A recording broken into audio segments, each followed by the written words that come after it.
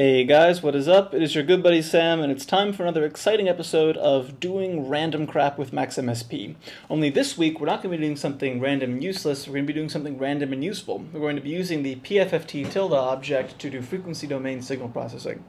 So, let's get it out of the way. I already I can hear you asking yourself, just what what is this FFT to uh, Sam? What what is this FFT that I keep hearing so much about? That all the kids are always going on about? Uh, is it like is it some new kind of drug? Is it like the Facebooks or the Yu-Gi-Ohs? No, it's not. What the FFT is um, is it's a way of taking sound that looks like this and making it look like this. Uh, in other words, it takes you from the time domain to the frequency domain. Up here we have the time domain. This is what the sound actually looks like. The peaks and the valleys here are the peaks and the valleys of the waveform itself. Um, this is what actually comes out of your speaker box and goes and slaps you in the ear bones. Looks like this. This is more akin to what you actually hear. This is the frequency domain representation. On the x-axis, we have each component frequency of the sound. In case you didn't know, sound is made up of frequencies, and you definitely should know that by this point.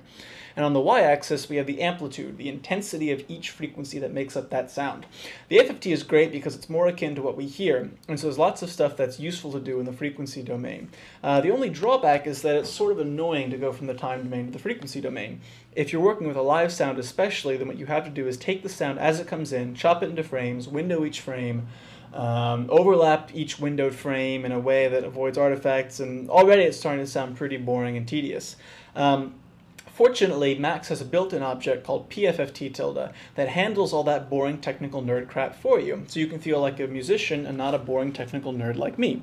Um, so anyway, here's how PFFT. PFFT works a lot like polytilde in that you have to make a new subpatch, and then when you make a PFFT tilde object, it will load up that subpatch to do the processing. So make a new patcher, and I'm going to make it big so you can see it. You don't have to make it big at home. I'm just making it big so you can see it. I'm going to zoom way in. Again, optional step, but awesome people like me do it. And then I'm going to save it as... Uh, I like to save my external patches in um, Max5, the application folder. Where is it? Max5, patches, templates. Um, and then I make a new folder with my initials, and I name all the objects uh, with my initials dot freak um, in this case freak-gate, because that's what we're going to be doing is gating certain frequencies. More on that in a second. Um, anyway, the SJT prefix is just so you don't prefix is just so you don't have name conflicts with the patches that already exist. But anyway, um, so like polytilde, FFT, PFFT tilde um, takes uh, you need to define inlets and outlets. In this case, instead of being in tilde and out tilde, we have FFT in tilde and FFT out tilde. And the difference between these is that each one of these inlets is going to take the FFT of the sound as it comes in. It's going to take that sound and move, move it from the time domain to the frequency domain. Um, and right now, all I'm doing is taking the um, real input, hooking it up to the real output, and the imaginary input and hooking it up to the imaginary output, making the sound go straight through. And some of you at home are going, all right, no big deal. And some of you are going, I'm sorry, real and imaginary? What, what the hell are you talking about? There's no, the sound is, look, calm down, it's going to be fine. Let me explain to you. It's not your fault. Whoever invented the FFT decided to choose the most, the most confusing possible vocabulary to describe it.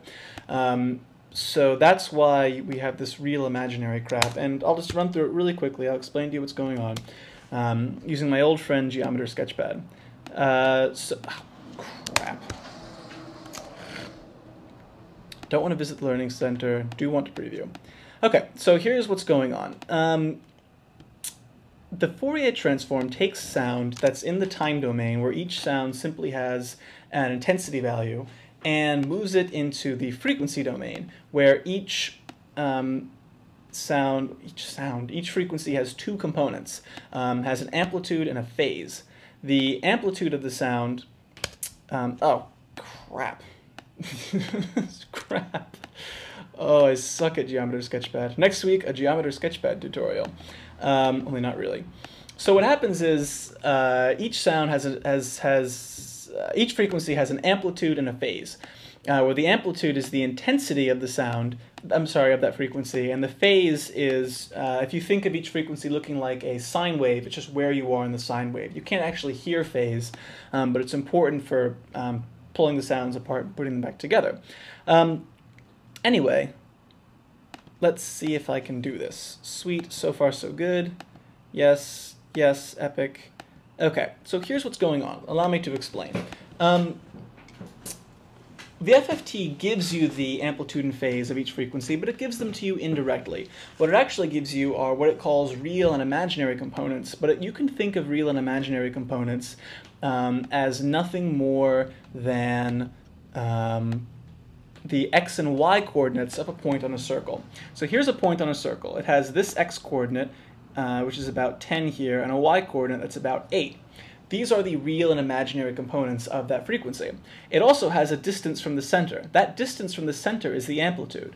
It also has an angle, this angle here, around the circle. That's its phase. So as I move this point around, what you're seeing are all different points that have approximately the same amplitude but radically different phase. And you can also see that they have very different x and y, very different real and imaginary values.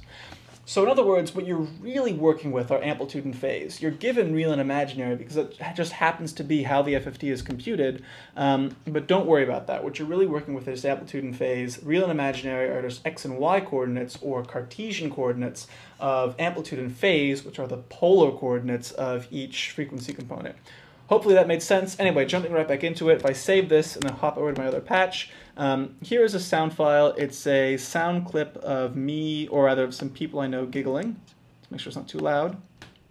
Oh my god. uh, yeah, great, people giggling. Um, no doubt at my expense. And now if I make an FFT, PFFT tilde SJT dot freakgate, I type so loud. Freakgate uh, since it just passed all that sound straight through, we should just hear the output now. We should hear that laughter again. Oh my god! Sweet! So we're doing everything correctly. Um, how much time have we already wasted doing nothing? We well, it's not too bad. All right, so let's jump back to the patch. Now, here's what we're going to do. Um, you've probably made a filter in the past. You've probably worked with filters before, and the way most filters work is like this: you've got some noise coming in, and you got your low pass filter here, and your low pass filter is centered around, um, I don't know, a million hertz, and so it sees a sound at a million and one hertz, and it's like, million and one hertz, go ahead, you're awesome, get in. And it sees a sound at 50 hertz, and it's like, 50 hertz? No, fuck no, I don't think so, get the fuck out. Um, and so 50 hertz doesn't get to come through the filter, fine. Uh, what we're going to do is make something that's similar but different. We're going to make an amplitude filter. And the way an amplitude filter works is it takes each frequency as it comes in, and it says, all right, frequency, are you above a certain loudness? If so, go right ahead. Are you below a certain loudness? No, I don't think so. You can get back in line. Um, and that's all it's going to do. And it's going to be great. It's going to be really great. So sound comes in here. Here's the real and imaginary component. We use an object called cartopol, or cartuple, to move from real and imaginary to amplitude and phase. Um, then we're going to check if the amplitude is greater than a given value. If it's greater than a given value, we're going to pass it through uh, this outlet. And if it's less than a given value, we're going to pass it through this outlet. Simple as that. Um, in one, and that goes into this greater than, amplitude goes in here, and now before we pass the amplitude out this outlet, we're first going to multiply it by whether or not the sound was less than the number we provided here. So if the amplitude is less than a certain value, the output here will be 1, and we multiply the amplitude coming out of cartopol by 1, it will stay whatever value it was before, and it goes gets passed straight out to this FFT out object um, after going through a poltocar to car to send it from um, polar back to Cartesian coordinates or in other words, from amplitude and phase back to um, uh, real and imaginary. And also over here, I'm going to do um, take the output of this, take 1 minus the output of this, and that's equivalent to knotting it. So now we're looking at uh, this, the output of this will be 1 whenever the amplitude is greater than whatever value we pass in this inlet. Um, and if I multiply the amplitude, oops, if I multiply the amplitude by that value, uh, that will be 1 when the other one is 0. Okay, another poltocar. This just goes straight out. And of course we need the phase from over here. And over here. That's not quite where I wanted it. And this is a big mess of patch cords, but you can work it out in your own time. And it's pretty simple what we're doing anyway. So I'm going to save this, jump back over here. And if, oh my lord, if I um, make this guy again. Now we have um, things above a certain threshold coming out here and below a certain threshold coming out here. And if we just go ahead and duplicate these, um, now I have two of these frequency gates, and I'm going to hook this outlet up to this outlet. Uh, and what I'm going to do now is grab frequencies in a certain range. So I have my R slider over here. and This R slider is going between 0 and 1, and this is just some scaling. I found that if you take the output between 0 and 1, raise it to the 3.5 power, and multiply by 45, that's a pretty reasonable range to work with. Um, those are values I pulled right out of my ass. Um, they happen to work well in this case. You can work it out on your own. Um, anyway, I'm going to hook this one up here is that right? Yes. And this one up here. So what's happening now is the low value is going to come out this outlet. And so I'm saying take the sound and pass everything that's above the low value. All those values are going in here, and now this frequency gate is taking everything that comes out of here, and it's going to give me everything that is lower than the high value. So in other words, what's happening is I'm only passing frequencies in a certain range. So here's the whole, oh my, that's, wow, that's so far removed from what I wanted. Um, here's the whole, here's what happens if I use the whole frequency range, basically. Oh my god. See, all the Oh frequencies are getting through. But now, what if I take a really tiny range? Can you see? It's hard to see, but only frequencies that are at a certain amplitude are getting through. If I move this thing down, oops. Now you can see only really quiet frequencies are really quiet frequencies are getting through. If I move it up, now look, only the loudest frequencies are getting through. That's pretty cool. Listen to that effect. It's a really weird effect.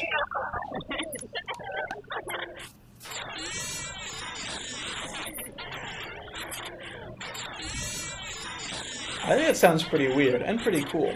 Um, all right, so we really should stop. Uh, and if you've watched up to this point and you're bored, yeah, go ahead and do something else. But I'm going to show you something else really quick that's also pretty useful. So I don't know if you can hear, but the sound that we're playing sounds sort of um, bubbly. There's sort of frequencies popping in and out, and it's sort of like what's going on. It's kind of artifacty. Listen again.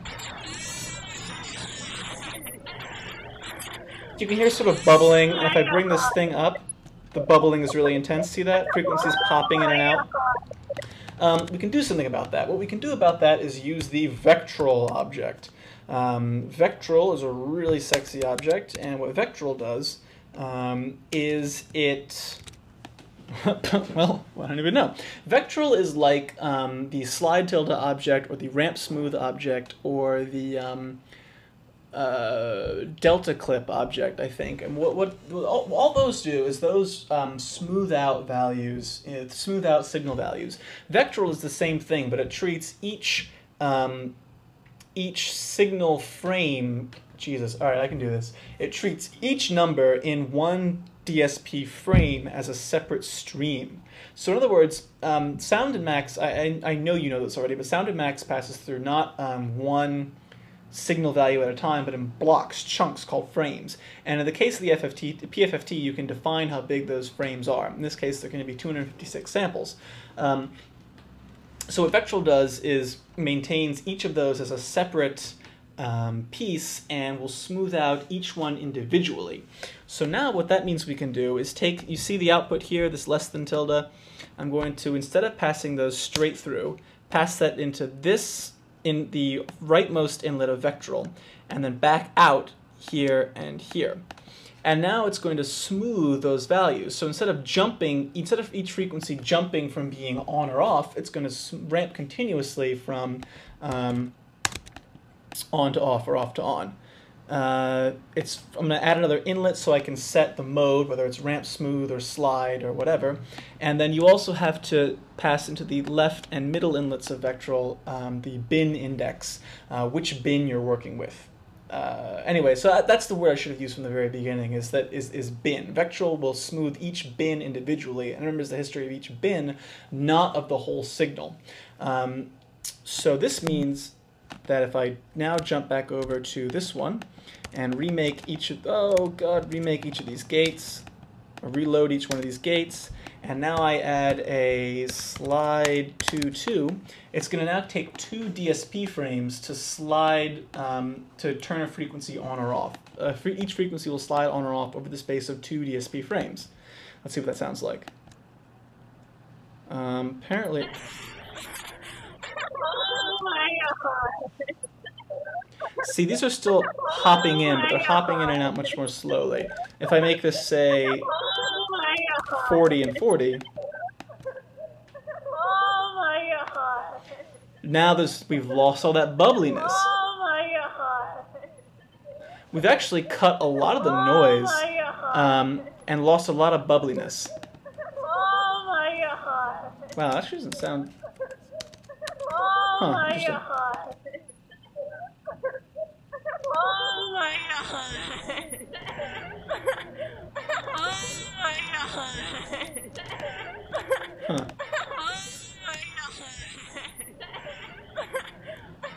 Huh. I got, sorry, I got kind of lost there just messing around with it. But anyway, that's slide tilde. And notice we totally got rid of all that um, poppling.